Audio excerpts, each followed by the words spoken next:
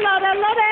No, no soy la hermana Lorenza, pero la eh, Lore, Lore. Muy bien, mi Lore, Lore. ¿Dónde te vas a ir de vacaciones de semana? Ay, pues todos los de Lorelandia ya no se van de vacaciones. Están felices porque van con toda la gente de Tamasuchale.